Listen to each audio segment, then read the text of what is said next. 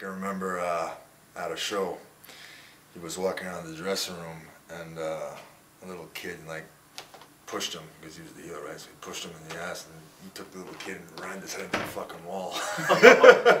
so "Keep your hands to yourself, you little shithead." And just walked off. I'm like, damn, I don't want to mess with that guy. Because I hadn't seen him in like four or five years. So the first thing he, he looked at me, he goes, "Yeah, you'll be dead by the time you're 35." Because I was all jacked up, you know.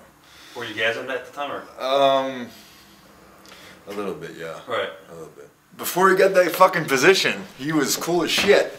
But as soon as he got that job, god damn, talk about a 180. Jesus Christ. Did he have a big ego, or was he just? Oh, dude. I mean, I, the Nova, he was all right, but then I could just see, like, fuck. I guess you get a little bit of power, you kind of goes to your head, but uh, he was the reason why. Yes, I couldn't. Every day going to work, I was called a French faggot. Every day. I mean, I don't want to go to work and be called a faggot. What if I? w- I'm not gay, but if I was gay, Right. you know what I mean? Isn't that sexual uh, discrimin- Harassment. sexual harassment? I, I was a fucking little. I was a kid, dude. I got the smackdown. I was barely 21. He was depressed as fuck, man. I can remember uh, having a conversation with him. He goes, "I hate this company. It's taking all my passion out." So we would end up talking for like a half hour. And about a, the next month, he got his fucking phone bill. It was 185 bucks. God damn, stupid motherfucker! Trying to call you. God damn, I live in Canada. Why don't you get an American phone?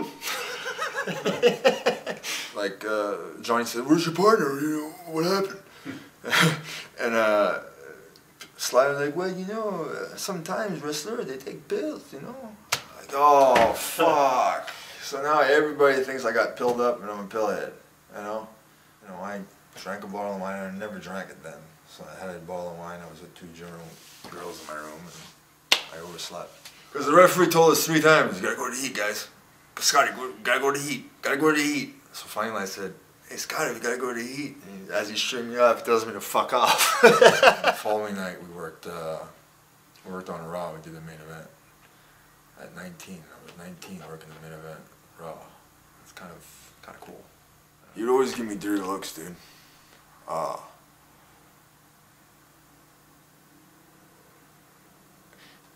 but he's um he has an aura about the guy. You know what I mean? I don't know. And Hunter has that same aura to him. So I don't know if it's the protein diet or what it is, but they have this aura. He was always out of his mind. So when he started doing drugs, he just didn't care. But he was always that way. Michael Hayes comes running up to me. Goes, Did you lose weight? Did you lose weight? Did you lose weight? You look skinny. I'm like, I go, no, I just changed to an all fish diet. and uh, uh, then I went to Pat. and I was like, Pat, listen, man, I don't want to fucking take this shit anymore.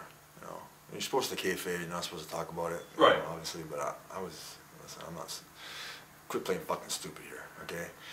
And um, that's when I felt like, shit, man, do I have to take this shit now? You know, I, I'm a drug addict. I'm not gonna lie. I've been to rehab three times. So, um, but I enjoy taking steroids because it makes you feel good. I'm not gonna lie, it makes you feel good. It makes you stronger. It makes your testosterone more. It makes your skin nicer. It, it just does. It fucking sucked. I had a broken nose. It was my 21st birthday. Bradshaw was on my ass again for whatever reason. A dick. I got heat for that. I get fuck. I got heat for blowing my nose, man. Every- I got heat for in these meetings. And okay, Johnny Ace tried to threaten to fire me every other week. Okay. Rene, I want to fire you. Rene, I can fire you anytime, you know. The first time I ever got fucked up on someone's was with Bob. Let me tell you that story. You know, somebody went and told Vince that I had a pill problem. I wonder who it was. Uh, it could have been Luther, or it could have been Bob. But Bob was known for off guys. Well, me, off uh, Heidenreich, and off Jindrak. What would do is ask guy for, for gimmicks, take them, and then go tell the office. He goes, Rene, there's not a drug that I've never tried. I've done them all. Sometimes you gotta raise some hell. This punch, boom, lit me up. I fed up. He punched me again. Boom, I fed up. I fl- went to the uh, to the floor. That's when he grabbed the chair from behind, from behind, hit me in the fucking back, and then he fucking started kicking me in the head. Walked over to Fit, who was the agent.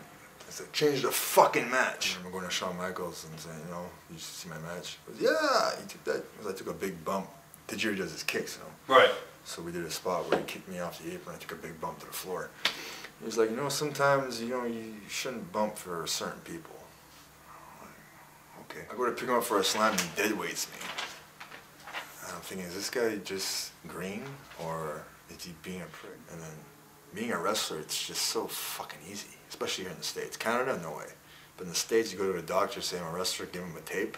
You can get whatever you want. Here's a prescription for Vicodin.